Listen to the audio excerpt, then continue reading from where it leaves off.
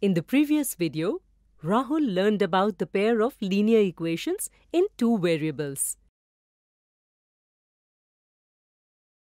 Now in this video, we will see some examples based on this. Rahul wants to write a linear equation on his father's age and his age.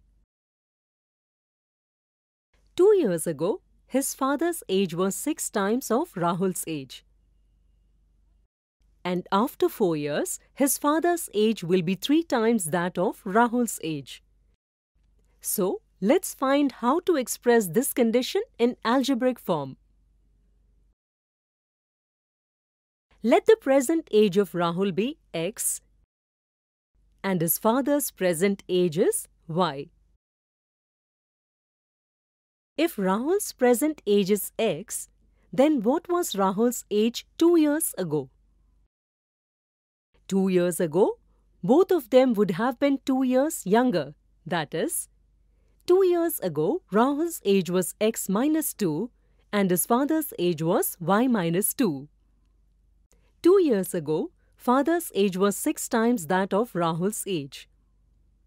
Therefore, if Rahul's age is multiplied by 6, both will be equal, that is, 6 multiplied by x minus 2 is equal to y minus 2.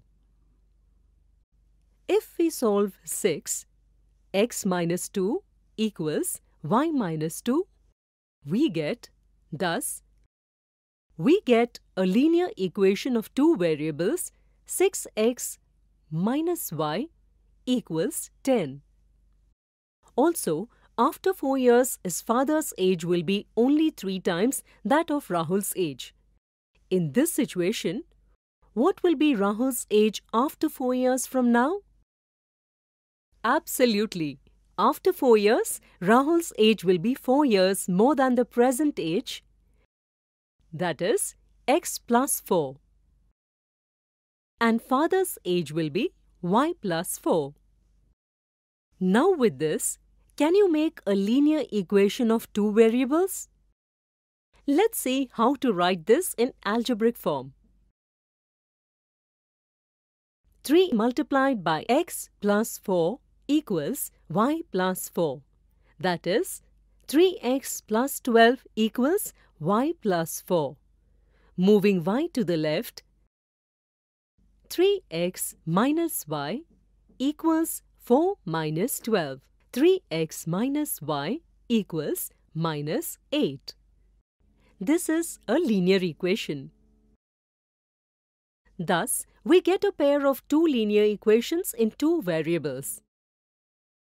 The first, 6x minus y equal to 10 and another 3x minus y equals to negative 8.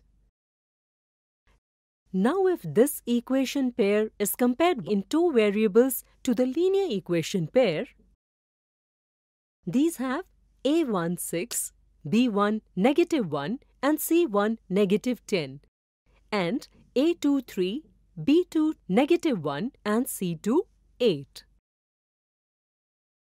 In this video, we saw examples based on a pair of linear equations in two variables.